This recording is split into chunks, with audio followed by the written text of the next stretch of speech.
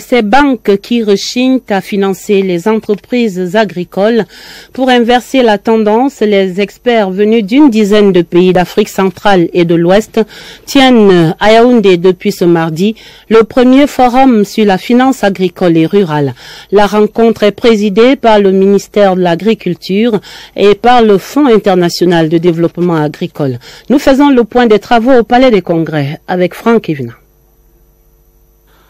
13 pays d'Afrique centrale et de l'Ouest, partenaires techniques et financiers, producteurs et autres acteurs ruraux, mobilisés au Palais des Congrès pour baliser la voie de l'autosuffisance alimentaire. L'Afrique doit se nourrir elle-même, le leitmotiv de ce forum régional qui explore les modèles de financement et d'innovation à même de propulser l'essor du secteur agropastoral et halieutique. Du potentiel, il y en a, une main-d'œuvre jeune et dynamique, 65% de terres arables, des terres fertiles et des structures d'accompagnement telles que le FIDA. Le Sénégal a défini une politique qui s'appelle le programme agricole de souveraineté alimentaire durable.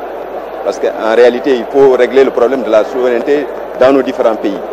Trois jours pour proposer des mesures incitatives, penser d'autres mécanismes de financement et de meilleures politiques d'accompagnement. Chercher les solutions innovantes pour trouver un financement agricole qui puisse permettre aux jeunes et aux femmes qui sont les populations vulnérables, qui ne présentent aucune garantie, d'accéder à des financements pour pouvoir créer Déjà, les experts invitent le gouvernement à atteindre la cible du protocole de Maputo en matière de dépenses agricoles, consacrer 10% du budget national pour espérer une croissance de l'économie agricole de l'ordre de 6%.